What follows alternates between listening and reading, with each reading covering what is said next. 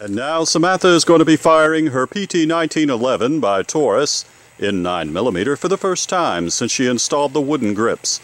Yeah, we're going to see exactly how it changed. Now, something happened, I think, between the time that I put the grips on and I put it back in the box. I guess with time it changes the gun. But be careful, okay? This is going to scare y'all. Incredible. I do not know what happened. Apparently I installed them wrong. Um, the safety, the grip safety is gone. The screws aren't even in the same spot that I put them in. There's this little Taurus emblem now.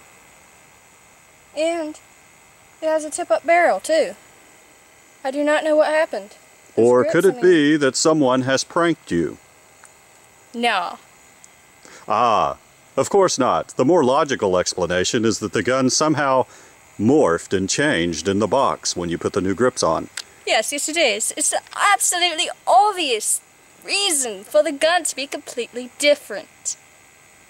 You see, yes. Nobody could have just gone into the box and just swapped the guns. It It's must be the. cocobolo wood. And it's not sitting right there either, is it? No, of course not.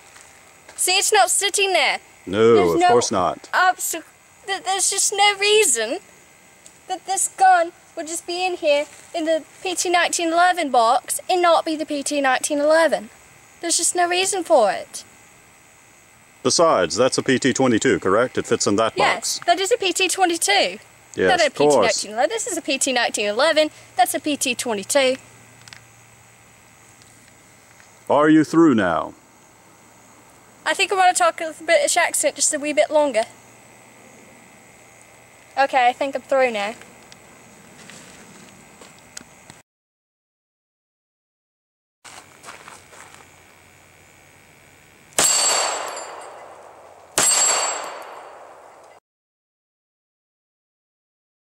Twenty-two Plinkster thinks he's all that splitting his cards all the time, so I decided I'd take my shot at it.